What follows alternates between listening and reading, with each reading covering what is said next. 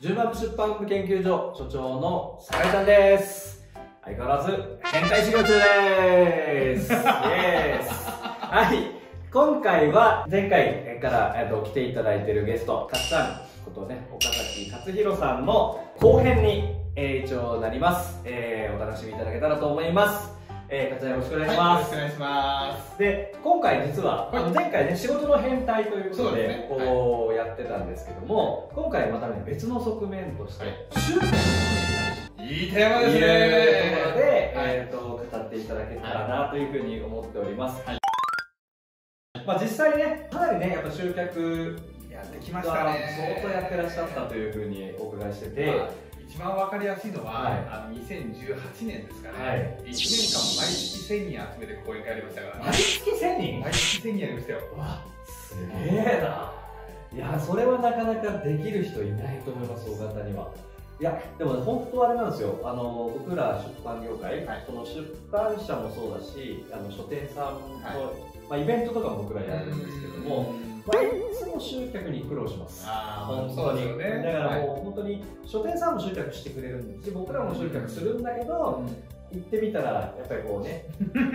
あれ、あれこれしかみたいな。サイン会の人がいないみたいな。で、こう、しょうがなく、こう、知り合いに電話して、なんとかご協力いただけませんかね？とかいう感じで、こう、動員するみたいな感じだったりするので、やっぱり集客力っていうのは、これかなり、うん、あの、課題だなというふうに思ってるんですけども、はい、実際ね、かっちゃんもね、本いろいろ出されていく中で、イベントとかやられてますよね。もちろんです。そういう時は、どんな感じなんですかでも正直なことを言えば、はい、あの酒井ちゃんが言うようなことを僕もやってますよ、うん。やってるんですけど、うん、出版社さんが実際どうか僕わからないですけどね、はい、集客できない人の特徴というのは、はい、集客してないんですよ。ああ動いてない。動いそもそもやってない。です、もうぶっちゃけ言うとやるやる前から諦めてる。やる前から諦めてたりとか、はい、集客していくんだっていう意図を持った行動してないんですよそもそも。要するに何もしてない。何もしてないはっきり言うけど、はい、だから例えばだから SNS で投稿しました、うん、これで集客やってると思ってるんですよ。ああそうなんですよ、ね、ないです例えば SNS で、いや今度ねあのイベントやろうと思ってるんですこんなイベントなんです。ってどうしたらいいと思いますか？とか仮に送りますよ。出しますよね、はい、だからコメントくれいるじゃないですか、その人にちゃんとああコメントありがとうございますって、どんなイベントしたらもっといいと思いますか？とかって聞いて、ああ分かりましたそれやりますって教えてくれませんかって言ったらいいんですよ。そこでこうちゃんとちゃんとアプローチしてアプローチしてだからそこがやっぱりこう一番大事ないや結局泥臭いですよ。あ、うん、集客って、うん、あのお金がある人の集客とお金がない人の集客って分けて考えなきゃいけないんですよ、はいはい、お金がある人の集客ってお金がある人も広告費バンバンかけて。ますねバーバーってやればいくらでもそういうプロのマーケターの方もいるし、はい、広告代理店みたいなことを相談してやったらいいんですけど、はいはい、でもそこまで行くまでの間っていうのはお金がない時期を経験するわけですよね。確かに。でこのお金のない時期の集客に関しては、うん、これは泥臭さしかないっていうのが僕は答えです。ああそれははっきり言える人はすごいと思います。本当に。だからこの泥臭い中で考えなきゃいけないのは、うん、一つはまず自分のコンテンツですよね、うん、自分が何を出していけるとか、これすごく大事なんですけど、はい、もう一個はそれ誰に届けたいのかなんですよ、うんありがちな、えーまあ、企業初心者の集客のミスっていうのは、はい、きっとこれはいいはずだって思い込むんだけど周りが全然必要としてないことなんです。ありますね。ありますよね。ありますね。だから僕もねミスマッチ。ミスマッチ、あの飲食で時を経験でお話しすると、うん、僕はあのねアラビアータ好きなんですよ、うん、であのうちのお店でねアラビアータ出した時実は全然なかったことがあるんですよ、うん、なんでだと思いますか？なんでだろう。アラビアータ。アラビアータがパスタでむちゃくちゃ美味しいアラビアータができたんで全然。この理由。ええー、とアラビアータ好きな人にアプローチしてないからってことですか？さっきの話同じ商品売り方変えたらああ売り方だけで。売り方変えました。で売り方も厳密に言うと変えないです。たった一つ変えたのはこれだけです。なんで？キャッチコピーとかじゃなくて。ほぼ正解。ですよねかというと、トの辛口パスタにしたら売ります。あ商品名を。どういうことかっていうと、はいはいはい、うちの店は結構単価が安かったんで、うん、20代30代の方が多いですよ。あアラビアータ言われても分かんない。分かんない。ピンとこない。ピンとこない、はいはいはい、レストランとかで働いてたとか、うん、そういうね洋食のお店によく行く人は分かるけども、うん、意外と20代30代の人にアラビアータって伝わらない。伝わらない確かに。そうするとよく考えなきゃいけないのは、売りたいのアラビアータ、でも買う人はアラビアータで伝わらないんだとしたら、買う人に合わせた表現に変えなきゃいけないわけですよ。確かに。ってことは、うん、自分が出したいコンテンツと売る人、うん、売っていく人にとってどうすればこの人たちが喜ぶ手の取り方ができるかっていうのを真剣に考えなきゃいけないんだけど、うまくいかない人ってガンなんですよ。とにかく俺はこれをこういうふうに言いたい売れるか売れるかと。なんでお前の自己中の自己満を俺が買わなきゃいけない結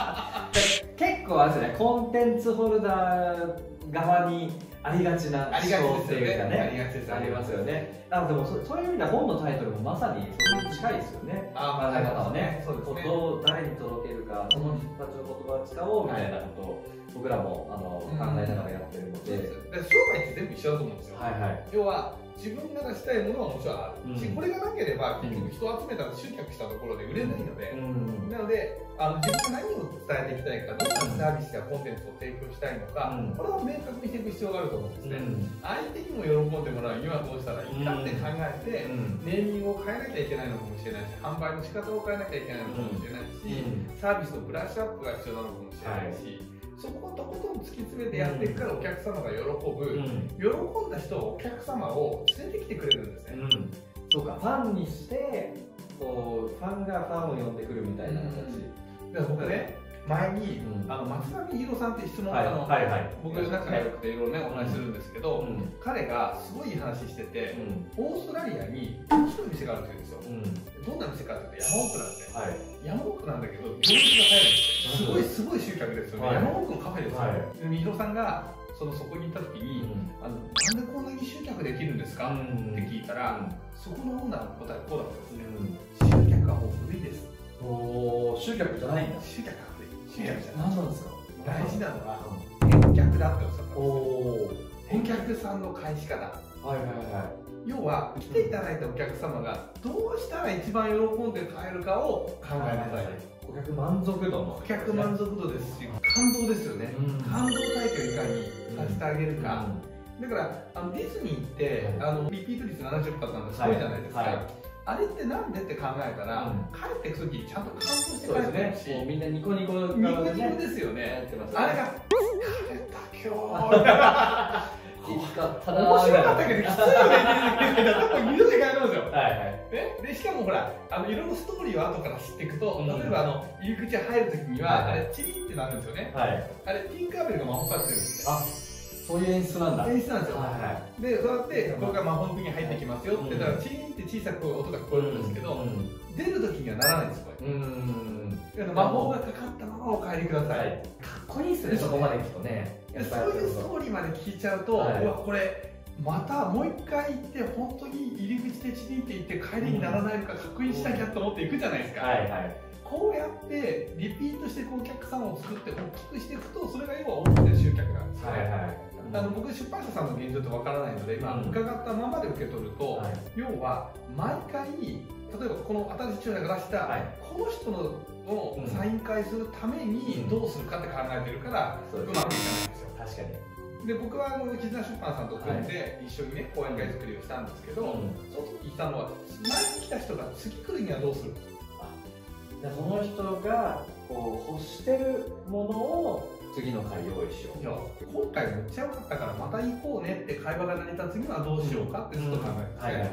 満足度ですね。感動をどう与える。そうです。そうですだから定期開催してるからできるんですよ、うん、これが単発開催で新しい著者が出ましたね、はい、この人だけやりますって言った時にここに来るかもしれないけどこのお客さんを次を言うともないじゃないですか、うん、これをちゃんと確立していくと要はだんだんと雪だるま式で大きな玉になって大きな集客になるんですよね、じゃあもうシステム化ちゃんとしていこう。していかないと。だから集客してないって言ったんです、はいはいはい、それが集客なの。そう。だからもう単発でこう電話で今回だけお願いとかやってる。やってるうちはだって毎回嫌ですよお前今回だけ来てくれ今回だけ来てくれお前何回今回なんだよ。一生のお願いだからお前一生何しようあるあるあるある。あるある。だからそれじゃダメだってこと確かに。僕なんかすごい簡単なんですよ集客するには、あのこれ出版のためになるから、みたいなことをこう出版につながるからとか出版業界の書店のためにこう役立つからみたいな、そに結びつけてくれればひょいひょいいっちゃう。そうですよね。だから明確なベネフィットがあってそれが魅力的だった人が集まるわけですよ、基本は。だからそういう部分では集客したい人に対して失礼ですよね結構ね。とりあえず来てくれみたいな。そうそうそう。だって時間をお支払いいただいてるわけなんだからそうそうそうその時間に対する対価を、ね、ちゃんと支払えないとダメなわけですよ、だから、まあ、集客って単に集めるっていう話ではないという、まあ、集めるんですけど集まらなくなる仕組みを仕掛けをちゃんと考えてるかってことだと思うんですよね、そのマーケティングをしっかりと磨いた上で、最初は泥臭くもやると。あそうですそうですそうですどういう全体をどういうふうに設計していくのか考えて、うん、どこにリストを集約集約していくのか、うん、そのための入り口フロントはどこに置くのか、うん、そこのフロントに来る魅力は何なのかっていうのを全部ちゃんと考えて、あとは泥臭くリストマーケティング、この考え方を持っている出版社とか書店とか、まあ、だけじゃないんですけど、多分持ってないその考え方持ってない業界が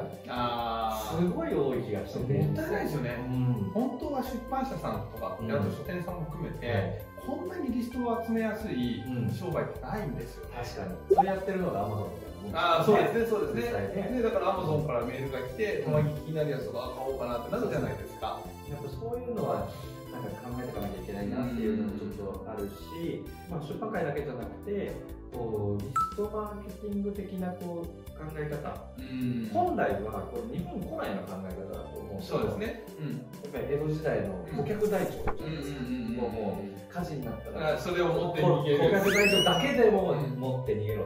というふうに言われていた時代があって、なんかそれがこういつの間にかにねこう考え方をしてするそうなんですよね。でこれがねあのリストマーケティングとか顧客台帳っていう言葉にするとなんかドライに聞こえるんですけど、はいはい、僕はお客様とのつながりを大事にする行為なんじゃないかと思ってるんですよ。確かに。だからリストは抱えたいわけですよ、うん、だって一人でもつながりたいですよ、うん。定期的にもこうご縁をこう作っていく作業っていうか、いうものもちゃんとやっていく。そうですね。僕毎年自分の誕生日には僕の書籍を無料でプレゼントしてるんで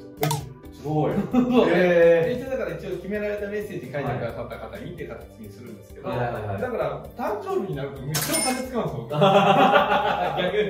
逆に。そう。逆に。一冊1500円の本でも送料を含めて1700円ぐらいになるわけですよね。え、何人ぐらい送るんですか ?1 年200以上。ああ、すごいですね。僕は嬉しいんですよね。それでもプレゼントできることに喜びを感じようと思って。うんまあ、ある意味だからそういうことをやってこう常にコンタクトを取ってるから、ね、かっちゃんがこうこういうイベントやるぞみたいな時にこう興味を持ってこう、来てくれるというかイベントそのものだけじゃなく価値観そのものにこう興味がだから多分認知と人気と人望なんですよ、はいはいはい、まず認知って広く知ってもらわないことには、うん、結局のところあのどんなサービスだって手に取ってもらえないんですよね、うん。でそこに人気で、はい、あこれこれすごくいいよねって思ってくれると、その意味では人が人を呼ぶふうになるんですよね、でも人気があっても人口がないと、近くの人から離れるわけですよね。近づけば近づくほど離れる。離れる。多いじゃないですか、意外と。ありますね。だから認知と人気と人望っていうのを、ちゃんと一個一個構築していくと、長く継続する愛されるビジネスになるんじゃないかなと思いますね。確かに。いい3点セットですね。だから本当は出版社さんっていうのは、あの、すごいね、僕もお世話になってますから、これほど認知が広く取れる職業ってないじゃないですか。確かに。で、あの本ってもう人気が高いじゃないですか、うん、認知も人気もあるわけですよね、うん、でもこれはやっぱ生かしてないわけですよ。この掛け算をどうするか問題が、あんまり整ってないんじゃないですか、確かに。でもね人口っていうところはねとても弱いと思うんですよ。表に出る人が少ないんで出版社にしろ書店にしろ。なんでやっぱり表に出てえっとね直接こうお客様と触れ合う、まあ、そういう出版社の例えば社長とか。ってなかなかいないんですよお世話になってる絆出版さんとかは、ね、桜井社長すごい出てくださるし、はい、すごい本当に大事にって方なんで、人望を磨こうみたいな意識そのものがもう不況の中でちょっとこううん。珍しくなってる感じそうですね。結局直接は人に会わないし、うん、で結局 SNS とかだと、まあ、遠くの人まで、ね、一応発信はできるし、そうするとそこら辺ちょっと希薄に考えがちなんですけど、はいはい、コアなビジネスやろうと思った時には自分を張って、本当に直接的な信頼関係がないとできないですから、まあ、そこまで含めてちゃんと考えていかれるとビジネスもうまくいくし、はい、で今集客も困らなくなりますよね。すごい勉強になりました。本当に。いや、もうなんかね、やっぱ本当集客って悩んでる方多いと思うんですよ。悩んでる方多いと思うんですけど、結局集客っていう言葉にとらわれる方がうまくいかないですかね。とにかく毎回集めることしか考えない。そうですよね。だからそういう意味では、なんかもう本質をね、そうねどこに置いて見極めていくか、何を大事にするか、すごい大事なことを今、教わりました。ありがとうございます。じゃあ最後またメッセージで収穫に悩んでるっていう方に対して ワンドリ本当にありがとうございます。ご覧いただいて、集客大変ですよね。でもこれは本当に、あの、なんかみんな魔法のようなことを言うんです。ネットとか見てると、楽して簡単に集客できるよみたいな、いっぱいいますよね。で、まあ僕はそれ嘘かどうかわからないですけど、僕は個人的にはそんなことありえないと思ってるので、地道な努力の積み重ねですから、うん、でも勝者の理論で勝ってる人たちは、うん、楽していける特別な方法があるんですよ。みたいなそれを売るんだよね。それを売ってる人はめっちゃ集客できる人がいっぱいいますので、まあ、それはそれで僕は分からないですよ。あの、事実かもしれないし、はい、そういうちょっと、ちょっとどうなのかなっていう売り方なのかもしれないし、それは分からないですけど、うん、えー、それは一つのものとして置いといて、うん、僕は個人的に。思うのは集客とはやっぱり地道な努力で、うん、積み重ねですから、来ていただいた方に。ファンに。なってもらって、またお越しいただくっていうのも積み重ねなんじゃないかなと思いますので、はい一緒に。地道な努力していきましょう。ということで、はい。どうもありがとうございました。動画ご視聴ありがとうございました。10万部プロジェクトを応援してもいいという方出版業界の関係者の方是非チャンネル登録とグッドボタンをよろしくお願いします。